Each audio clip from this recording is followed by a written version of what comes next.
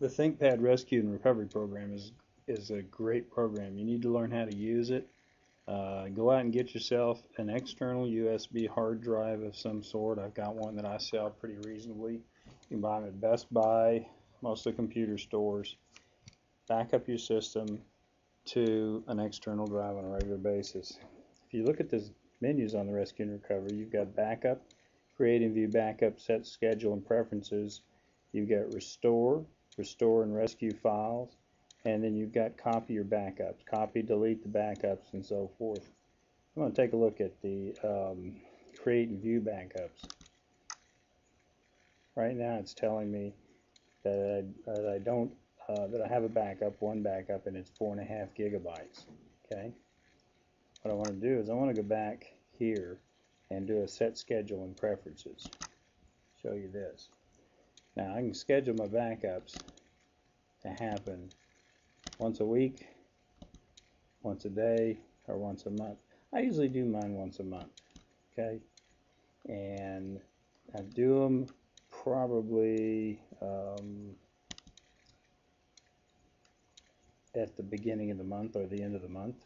You can just click into the month.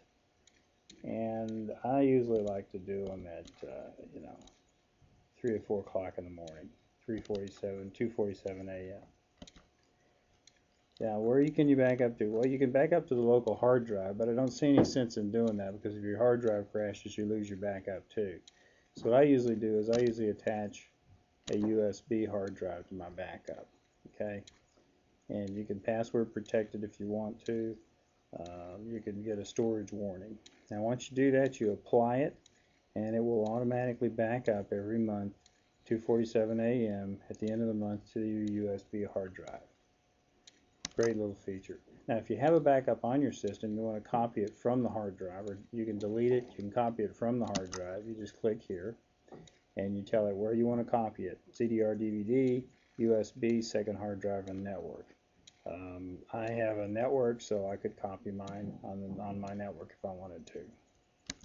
Anyway, get to know this program get and use it. Use it to back your entire system up. It's an image backup which means that if anything ever happens, you can put a brand new hard drive in your computer and you can do an image recovery.